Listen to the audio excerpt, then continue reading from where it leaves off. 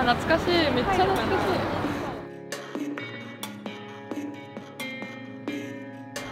はいありがとうございます。こちらでどうもありがとうございましたイエーイ。あーおーいいね。お疲れ様ですなんかよくここに来てたんだけどでここからあれを眺めて夏の間かなあっちになんか日が沈むのでそれがすごい綺麗でなんかしんどいですよね。でこうじっとそう病んでる時に来てじっとしてで徐々に楽しくなってわーって海入ってって。いいねこのコートはすごいお気に入りのやつでこれはビューティーユースです。ね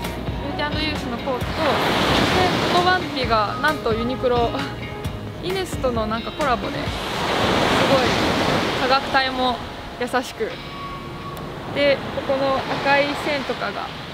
なんかポイントになってすごいお気に入りです。これがなんとグレーの中にちょっと蛍光っていうのがなんか斬新でスポーテ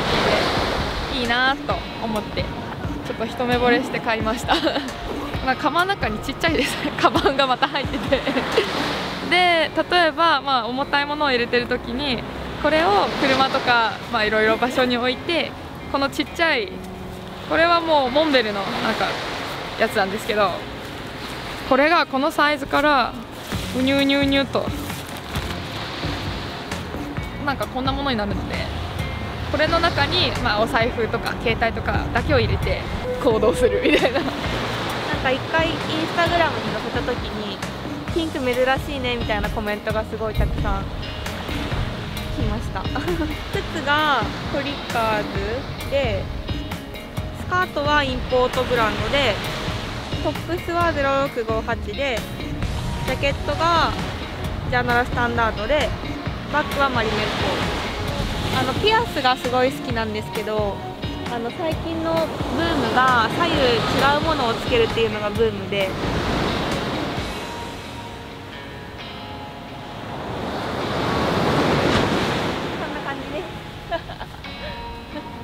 い写真